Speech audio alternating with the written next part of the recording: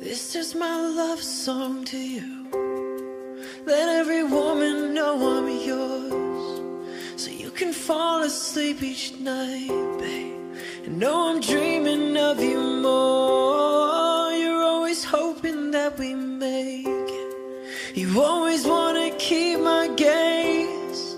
But you're the only one I see. And that's the one thing that won't change. I will never stop trying.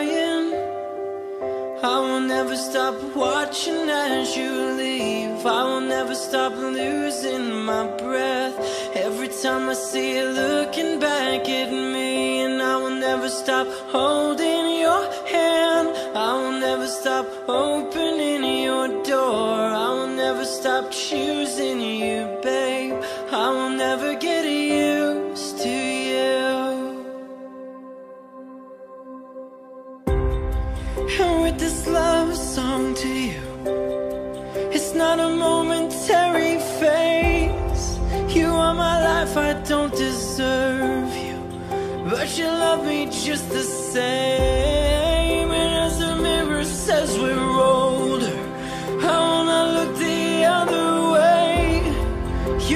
life, my love, my only. And that's the one thing that won't change. I will never stop trying. I will never stop watching as you leave. I will never stop losing my breath. Every time I see you looking back at me, and I will never stop holding your hand. I will never stop opening your door. I will never stop choosing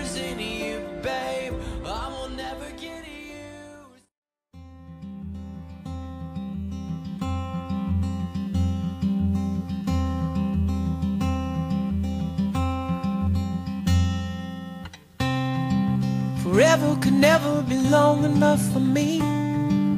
Feel like I've had long enough with you.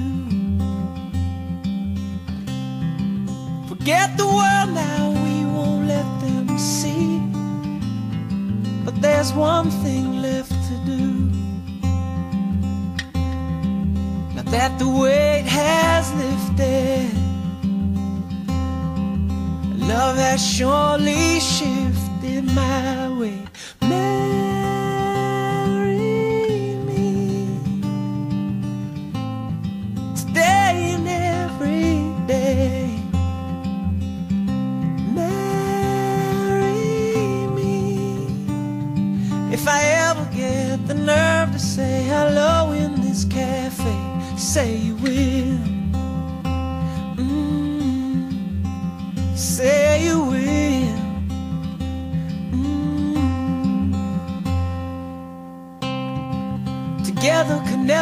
Close enough for me to feel like I am close enough to you. You wear white and I wear out the words I love you, and you're beautiful. Now that the wait is over, and love has finally showed her my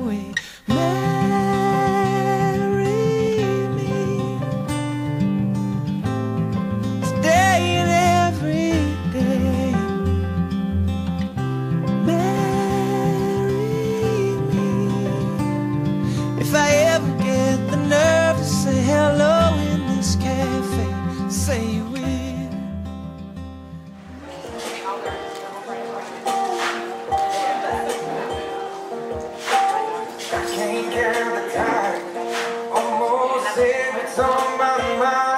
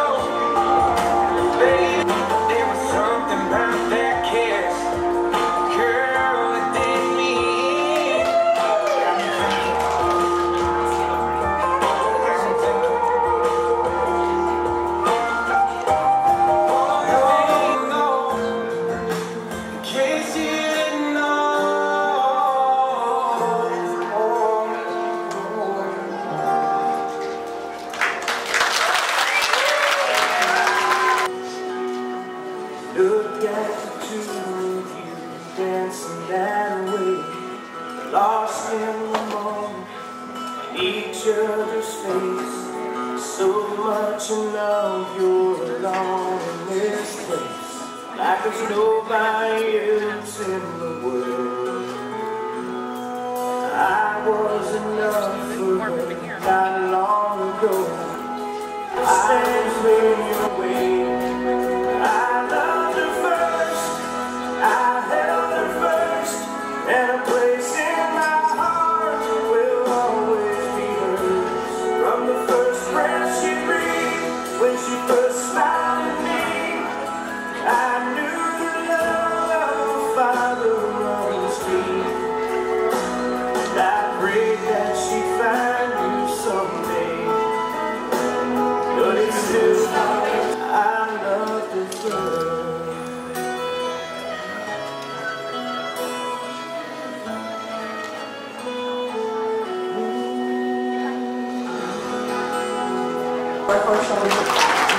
I know that she'll always be there for me, and I'll always be there for her, even though we're a thousand miles away.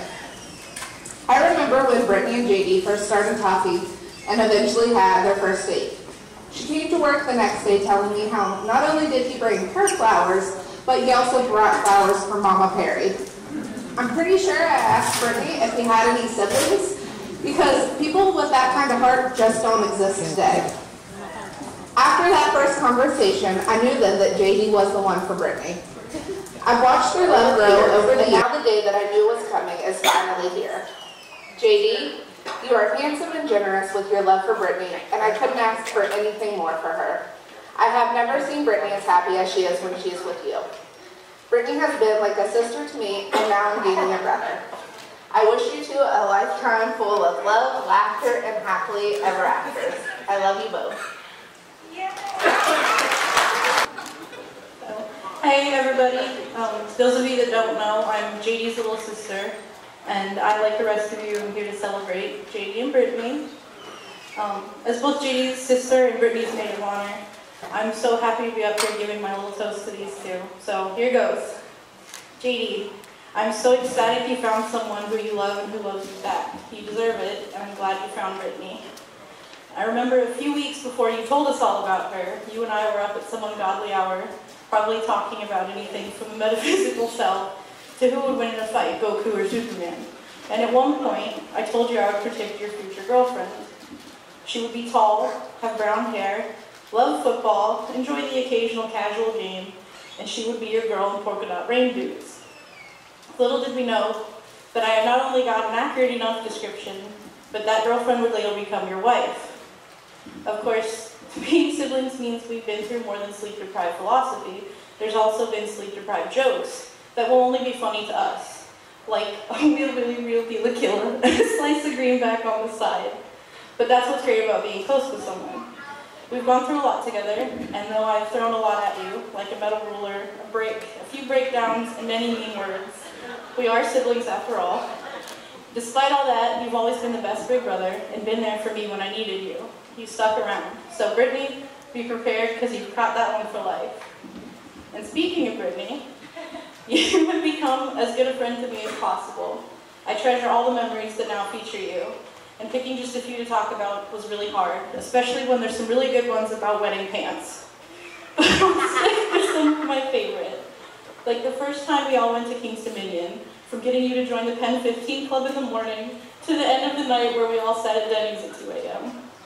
I think that must have been the big, the, been the first time we went on an adventure together, and it was a proper adventure because there really is nothing quite like Mama Bear Brittany almost fighting someone in another car because they were coming at the squad, and then later throwing me under the bus when I hit some lady with football. It's okay though, because we have the now iconic Brit line, she did it. That's, that's not to say we haven't also shared more than laughs. There's been tears too, but don't worry, because they were only good tears. Because another one of my favorite memories is when you both decided what your first dance song would be, and had all three of us crying like babies in the car. And all the time that I've gotten to know you, you've become like one of my sisters. And although you've been family probably since the Bear incident, if not longer, I'm glad to now officially count you as one of us. So let me toast not only to my big brother, but to my new sister. I've known JD for 10 years, Um, we're both pretty quiet people, pretty quiet around new people, but we soon got to know each other pretty well. JD's one of those people that you can just talk to and know that, know that he's listening. Over the years, he's become a brother to me and has been there for the good times and the hard times.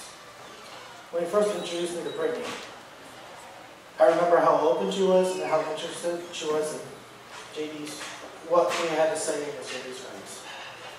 I got to spend time with both Brittany and JD on many occasions, and was happy to know that JD could be himself around her. It seemed like they really complemented each other quite well. I know these two will be really good together, and- have been already. I'm happy for the two of you, and I, and I know you'll continue to support each other. As many of y'all have already figured out, we're here to celebrate the love of these two. Um, as some of you may know, my name is Mark, and I'm JD's brother-in-law. I met JD back in 1998, and I can clearly remember our first encounter. I was sitting on the sofa with my now wife, Chrissy, and little JD was trying to start a movie to watch. He got the movie going and then came and sat on my lap to, uh, to watch the movie. And about the time that he had gotten settled in, gotten good and comfy, he decided to christen me. He farted on me. I'd never met this kid before in my life, and now he's bouncing farts off my leg. Since that introduction into JD's world, I've watched him grow and flourish into the wise and compassionate man you all see before you.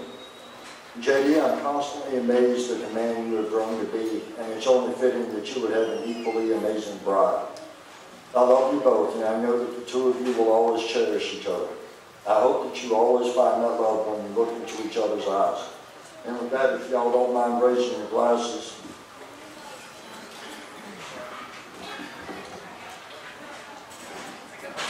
May you never lie, cheat, or drink, but if you must lie, lie with each other. If you must cheat, cheat death, and if you must drink, drink with us, for we all love you and wish you the best of what, wish you both the love and happiness that you deserve. We just want to thank you all for being here with us today. We love each and every one of you, and you all hold a special place in our hearts. Uh, let's have a good time.